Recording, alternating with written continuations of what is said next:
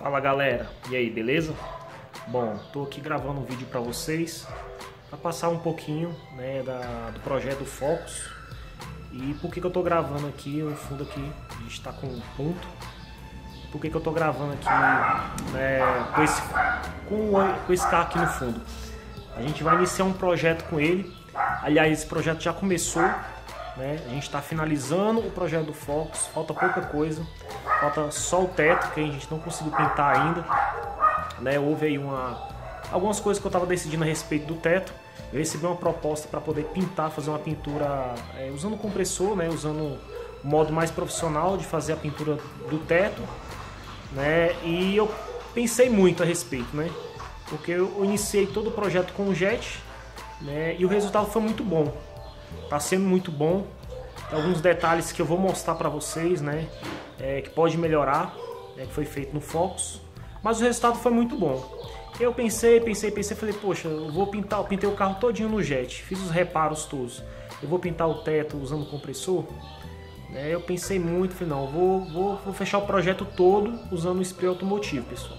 Então tomei essa decisão aí, né? Então eu demorei alguns dias para tomar essa decisão, não tomei essa decisão e a gente vai botar em prática essa próxima semana.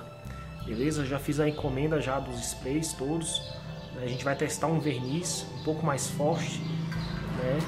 E assim, a, a loja que está no, nos fornecendo as tintas, né? É, vai entrar em parceria com esse carro aqui atrás. Né? A gente vai ter algumas coisas que a gente vai fazer, para-choque, alguns detalhes aí usando o spray também. Né? Não é um projeto tão grande igual o do Fox, o Fox eu tive que fazer praticamente todo, o do Punto é só alguns detalhes. Né? E o que, que a gente já iniciou no Punto? A gente, né, eu tinha uma, um desejo muito grande de achar as rodas originais desse carro, né, que é uma roda de aro 15, vocês vão ver aí. Né, esse carro ele foi comprado, ele usava roda de ferro e calota, né, vinda de, de, do ano, e, mas eu tinha muita vontade de achar as rodas 15 que vieram nesse modelo em 2008, né, do Punto. Né?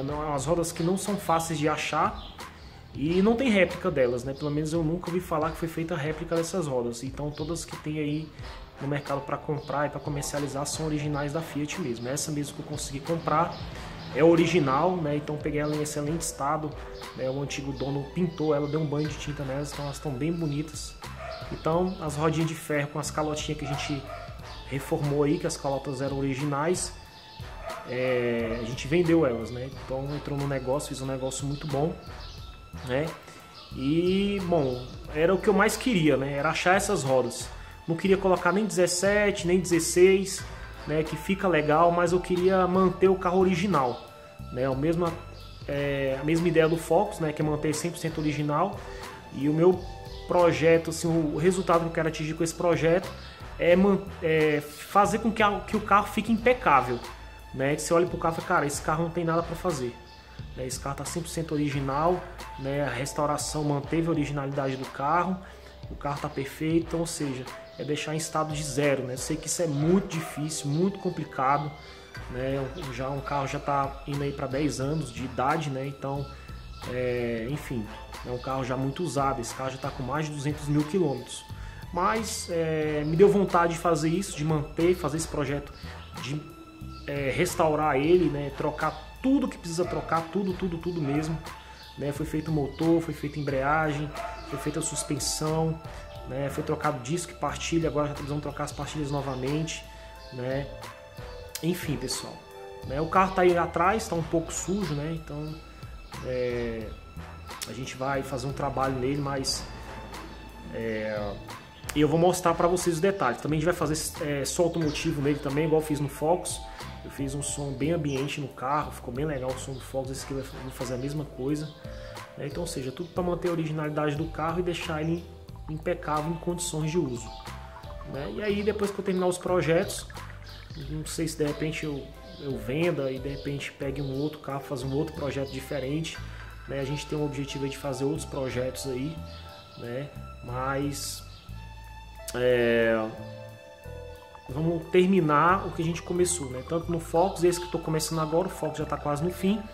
E como eu prometi, eu vou fazer um vídeo especial de mil inscritos. Para de latir à toa, rapaz. Isso é um, um Cheetos, não é um Pitbull, não. então é isso, pessoal. Então a gente vai fazer esse vídeo especial dos mil inscritos. Nós já chegamos aos mil inscritos, graças a você que tem aí acompanhado os projetos, né, que tem incentivado o canal. A gente vai continuar né, trabalhando projetos, vídeos aí de utilidade pública aí que dá para todo mundo fazer, né, no seu próprio carro, né? A gente tá vendo um tempo difícil, né? A gasolina aqui tá né, do mesmo jeito que tá as outras cidades, filas quilométricas, pós já sem gasolina, né? Então, ou seja, período de crise. Então, para você que é entusiasta automotivo, a gente vai sempre estar tá dando dicas aqui de como você conservar o seu carro, consertar algumas coisas, né? E aperfeiçoar o seu hobby aí. Beleza, pessoal? Então, segue aí os detalhes aí das rodas que nós trocamos e se inscreva no canal aí, continue comentando, continue compartilhando os vídeos aí, que tá sendo bem legal. Valeu, um abraço.